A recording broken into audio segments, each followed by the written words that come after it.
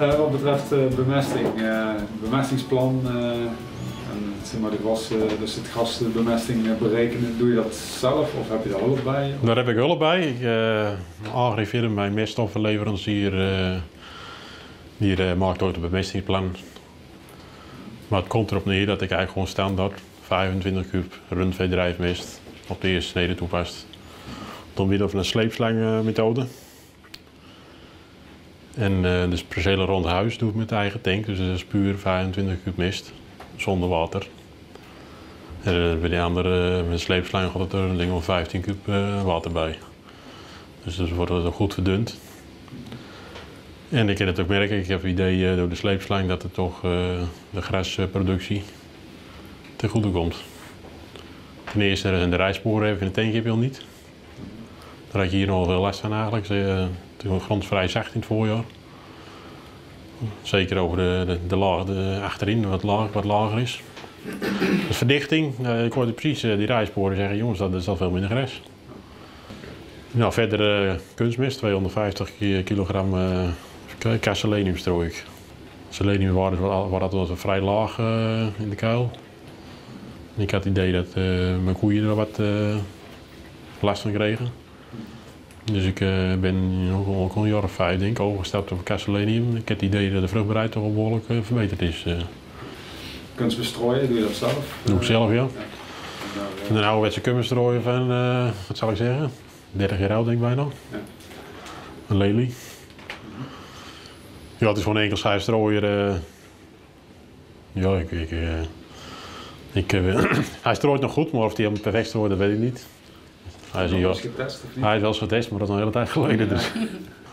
maar mijn streven is toch wel dat uh, half maart eigenlijk uh, de mist uh, er allemaal op ligt.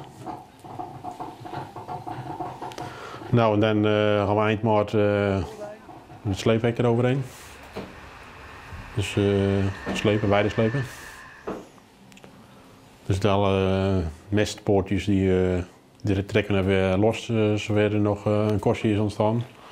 Plus de oude grashouders, uh, oude gras een beetje lostrekken. Nou heb je nu niet zoveel oud gras, want ik weet uh, altijd schapen. Het winters. Wordt schapen ingeschaard.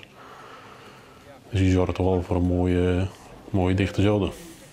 Nou, en als het nodig is nog met, met een rol eroverheen. dat is alleen maar uh, plekken die wat jongens dus ietsje, stuk gelopen. Maar de laatste jaren is het eigenlijk niet meer zo in, hier in orde geweest. Want meestal moet je toch weer rat naar binnen toe als het net werd. Want het was keer, één keer goed net. Dus. Ja, onkruidbestrijding, ook belangrijk. Doe ik uh, toch wel frequent. Ja, één keer in de vier, vijf jaar en uh, ga ik nog een keertje rond vaak. En het inzaaien van nieuwe genetica, hoe vaak doe je dat als je dat moet, uh, moet inschatten? Nou, dat is één keer in de drie jaar. meestal in de, met, met maïsrotatie, dan komt er nieuw gras in. Dus je krijgt de rotaties ja, naar gras? En ja, die stukken over de wetering waar dus geen mais zit. Ik heb er al van het jaar lopen dubben, ik moet een stukje opknappen ja, het was in augustus zo net, dus uh, ik heb het maar weer even opgeschoven. Dus, uh, ja, ik heb uh, voor mezelf, voor mijn gevoel, heb ik maar gewoon grasland, zou moeten zeggen. Ja, we hebben natuurlijk het beste stuk gekeken daarnet, maar dat is ook het beste stuk. Maar voor de rest is het maar, maar gewoon, gewoon grasland. Ja. Als je moet inschatten, hoeveel goede grassen staan er in de meeste weides? Uh, 75 procent. 75 procent, oké. Maar hoe zit het dan met, die, met, de, met, de, met het omzetten van grasland op die andere percelen? Nou, dan allemaal nog één keer in tien jaar aanhouden. Ja. ja. Kies je bewust voor bepaalde genetica bij grassen? Bij stieren en wat vaak, weet je precies... Uh, nou ja, ik, ik, uh, jawel, uh, kroon roestresistentie, daar, daar hou ik helemaal niet van. Dus dat moet, uh, dat moet in orde wezen. Oh, dat is belangrijk. En ja. kijk, in diplotetra is dat... Ja, doe, ik ben half een beetje, niet helemaal, maar gewoon half-half. een beetje tetra, diplo. Want het moet ook niet open worden. Als het erg tetra, dan wordt het erg open. Ik doe het natuurlijk wel en weide. De diploïd is toch iets, iets smakelijker voor weide. Ja. Het is toch voor mij toch een combinatie uh, weide en maaien. Ja. Vaak twee, twee keer weide en dan weer maaien. Dat is de, toch wel de stelregel. Maar maaien in blokken. Kijk, wij doen het kader nog een eigen beheer. Dus we maaien meestal een bundel 6, 7 tegelijk. En, en dan in groeitrappen is dat dan, zit er dan uh, tien dagen tussen? Nee, dan gaan we, we gaan wel in één keer door. We gaan in één keer door? Ja. Dus je maakt de eerste klaar en dan ja. maak je de volgende zes, zeven? Okay. En bij jou toch meestal toch, uh, je moet wel eens een keer stoppen dat je een paar dagen weg moet. Dus je hebt toch 14 dagen werk voordat je uh, klaar bent. De eerste keer was het, eh het eerste gras net geregeld. Er zit regenwater in, het, eh, in die kuil, dus dat mag je gerust weten. Ja, toch een goede kuil. ja. En hoe lang heeft hij gelegen in uren als je moet inschatten? Nou, de eerste, even kijken, de eerste was zeven bunden. Dat hebben drie, eh, drie dagen gelegen, denk ik. Dat ik vrijdag gemaaid. Zou we zaterdag opruimen, want regende het- de regende zaterdagmorgen net. Dat is de zondag overgedeeld, zondag werken wij niet in het gras. Dus dat hebben we maandag weer weggewerkt. Ja, en toen, ja, ik zat gelijk maar door te vertellen nou, hoe die geld in elkaar zit. Dinsdag, eh, dinsdag hebben we weer vijf bunden gemaaid. Dat was dinsdag na de Pasen. Ja. Dat moest er nodig hebben, dus uh, tegen pa gezegd, eh, we gaan toch maar aan de gang. Dinsdagmorgen gemaaid, gelijk geschud. S'avonds weer een keer geschud. Woensdagmorgen nog een keer geschud, gelijk de erachteraan. Zijn 12 uur gereden. Toen hebben wij vrij- vrijdag eh, weer zes bunden gemaaid. Dat was niet diezelfde week. Hebben wij zaterdag opgeruimd. Het was scherp drogend weer die vrijdag. Dus vrijdagmorgen gelijk met die maaien weer het land ingegaan naar naar het voeren en melken. Dus dan praat je over 10 uur eh, zo'n beetje. Nou, dat was voor de middag klaar. Ik gelijk met schudden erachteraan. Smiddags weer geschud. Zaterdagmorgen weer geschud. En gelijk met herk erachteraan. Ik had een trekker bijgehuurd bij de loonwerker, dus gingen, eh, mijn vader ging herken en wij gingen gelijk aan de gang met de overwagen en de verdeler. Dus dat was zaterdagavond ook weg. Nou, toen moesten we een week wachten. De eerste week mei, ja. 9 hectare stond er nog. Dat hebben we gezegd, dat doen we toch maar in één keer, want het was lang zat. En die week erop zou het toch weer omslaan, dus heb ik in één keer. Ja, Zaterdag maaien gegaan, schudden.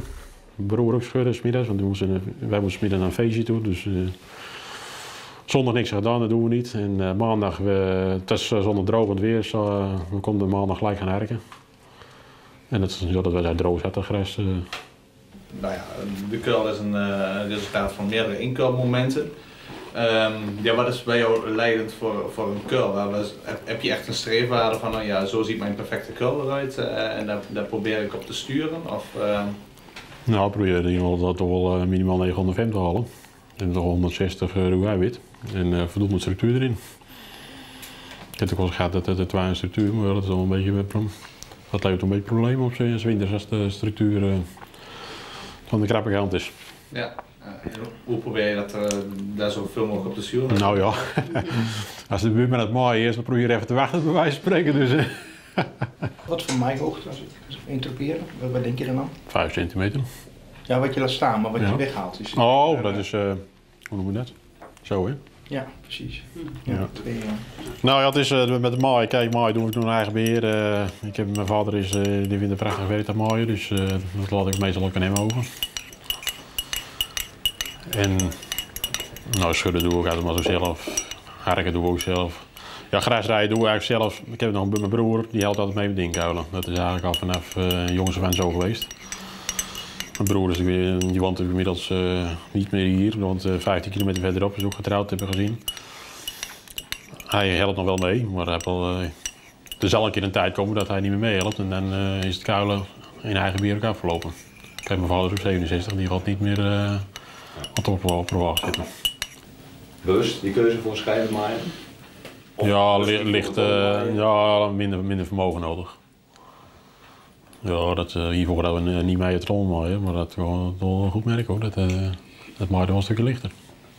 Hebben we bewust wat aandacht voor, voor, voor afstellingen aan machines bij, bij het schudden en bij het harken? Ja, nou ja, kijk, inderdaad. Die tanden moeten niet in de, in de grond eh harken. Die moeten net boven de, de stoppel eh, het gras meepakken. Ja, wel weer die stel je gewoon elke keer af als je in de gang gaat het, eh, met het opstang. Dus. En mooi net zo, als we eh, een stukje gemaaid hebben, stappen we uit. Gewoon kijken of de, de eh, voldoet. Ja. De balen, gesneden neem ik aan. Gesneden balen, ja. Nog een speciale functie de balen en dan besturen of dus gewoon... Nou, balen, ik, ik doe meestal balen voor, eh, nou, nog eens een keer wat erbij. Om het bij te voeren, makkelijker bij te voeren. Of eh, een paar eh, voor droge groeien. Dan kun je dus een, eh, een stuk hebben wat, nou, wat een behoorlijk stengel in zit. Dus dat hou ik apart voor droge groeien. En najaarsgras doe ik ook gewoon een droge in de bal. Dat, eh, wat over het algemeen doe een hoop eiwit. Dus die ken ik eh, vaak eh, naast een iets ei- eiwitarmere kuil, voer ik die ballen erbij op die manier de benutting van die herfstbal ook te optimaliseren. We hebben al heel veel afwegingen gehoord eh, ten aanzien van goed ku- kuilwinning. Eh, zijn er ook wat economische afwegingen in? Nou, het is, Het is altijd nog het goedkoop- goedkoopste als je zelf inkoopt. Dus. Ja. Machines zijn natuurlijk, eh, ja, die zijn afgeschreven, ik wel stellen, dus die, die kosten niks meer. ja. Alleen de trekker dan en de brandstof, die, eh, die, kosten natuurlijk wel. Kijk, eh, voor mijn broer is het nog gedeeltelijk hobby, dus joh, die rekent ook niet eh, het volle pond. Dus als hij dat tegen een loonwerkerstarief eh, opzet, is Ja. dat er altijd goedkoper. Maar als je natuurlijk je eigen tijd er nog tegen- tegenover zet, ja, je doet eh, wel wat langer, eh, je werkt ook niet zo snel als een loonwerker. Maar dat zijn de bewerkingskosten in de kostprijs. Eh, Als ik dan gewoon kijk naar voerkosten en voerproductie van uw eigen grond, want u melkt ruim 5 ton melk, Ja. 18.000 kilogram melk per hectare. Mhm. Net wel, net niet zelfvoorzienend qua ruwvoer. Ja, net niet. Een klein beetje moois erbij nog, ja. En die mais die wordt, dus, die wordt dus gekocht. Die worden gekocht, ja. En nog een beetje perspulver erbij. En ja, dat is een krachtvoervervanger, hè. dat is geen ruwvoer natuurlijk. Dus, eh. En aardappelvezel, dat eh gebruik ik als afdek. eh snijmais, ik zelf, eh snijmais gaat dus eh straks haksel- worden, dan doe ik perspulver overheen. En dan nog aardappelvezel eroverheen. Dus, en daar voer ik dus een, een drie kwart jaar van. En laatste vraag, voerproductie, als u nou één punt moet noemen, want daar zou ik het echt nog beter kunnen. Wat zou, wat zou u dan noemen? Qua voerproductie? Ja, gewoon totale voerproductie. eh, Nou, misschien een opslag. Kijk, dit is nou nog een rijkuil. Een sleusjuloid dan vaak dat je de kant eh, iets, iets eh, vaster, eh, vaster kan krijgen. Dat zou nog op, eh, misschien nog een verbeterpunt kunnen wezen. Alles in ronde banen, is dat een optie? Dat is de duur. En ik heb een uitkuil doseerwagen. Kijk, ja, die ballen kan je wel afsnijden. Maar eh, nou, als je van al die ballen alle plastic eraf halen elke keer, dat, eh, plus een hoop afval van plastic. joh.